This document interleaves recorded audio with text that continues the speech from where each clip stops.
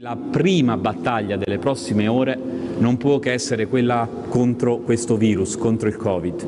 E abbiamo uno strumento che per noi è lo strumento fondamentale, la vera chiave per chiudere questa stagione è la campagna di vaccinazione.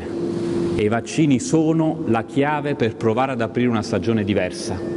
Abbiamo condiviso che in queste settimane, le prime di una lunga campagna che si svolgerà a livello globale, il livello di diseguaglianza è un livello troppo alto. Io penso che sia un livello non accettabile, non sostenibile, sbagliato sul piano valoriale, ma anche sbagliato sul piano sanitario, perché se lasciamo una parte del mondo senza vaccini rischiamo di avere ulteriori varianti che potranno rafforzare la sfida di questo virus contro di noi.